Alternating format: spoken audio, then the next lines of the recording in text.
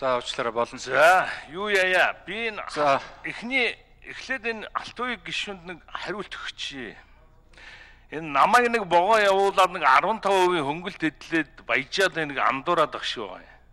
Нэгд бол Монгол улсад хөрөнгө оруулалт оруулж ирсэн.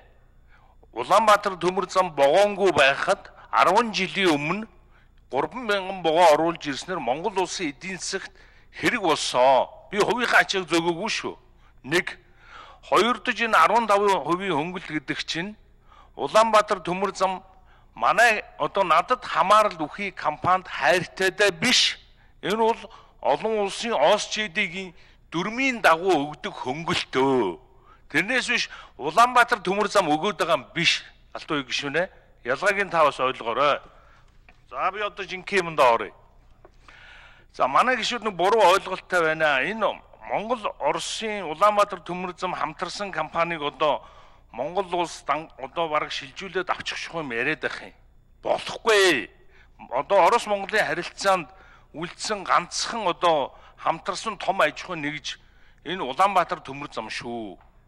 Энэ төмөр замаар Орос Монголын бас харилцаа бас энэ чухал ач холбогдолтой гэдгийг та бүгд ойлгох хэрэгтэй. Стратегийн талаас ч ач холбогдолтой, эдийн засаг талаас ч бас ач холбогдолтой. Өнөөдөр бол энэ Улаанбаатар төмөр зам дээгүүр явж байгаа Таранзит ачаа Улаанбаатар төмөр замыг тэжээж байгаа шүү. Яг үнэндээ бол а энэ дотоодын ачааг яагаад ийм үнэ өртгийг одоо нэмэхгүй байгаа асуудал бол манай засгийн газрын асуудал шүү. Манайх өнөөдөр дотоодынхоо нүүрсийг нэмэгдүүлж болохгүй, зорчигч тээврийг нэмэгдүүлж болохгүй гэж энэ компанийг Монгол талаасаа бараг дампуур хэмжээнд хүргэж байгаа шүү Багнуур, Шивээговын бүх нүүрс хөнгөлтөө үнээр зөөгдчих шүү дээ. Алдартай үнээр.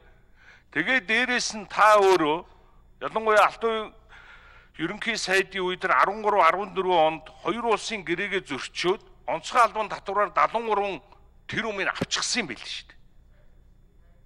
За тэрийг яг та өөрөө тайлбарлана үз.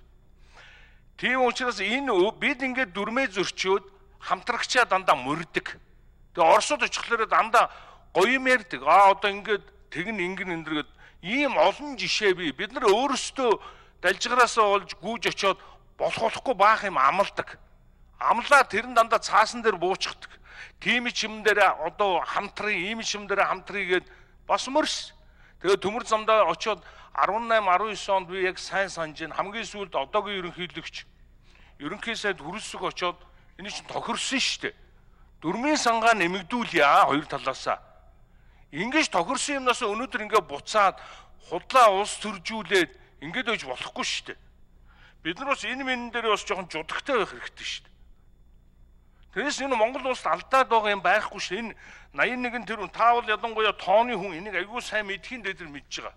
Энийг чи хөрөнгө оруулалтандаа тооцоод явчихад Монголд алдаад байгаа юм ерөөсөө байхгүй.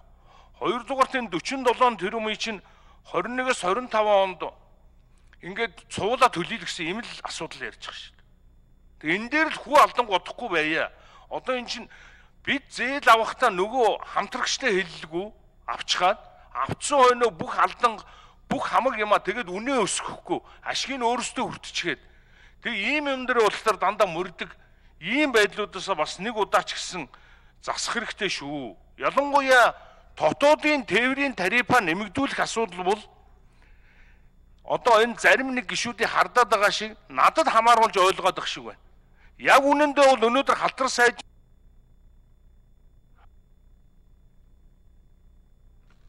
Дэлгэр сайхан гişүн 1 минут намж үгэ.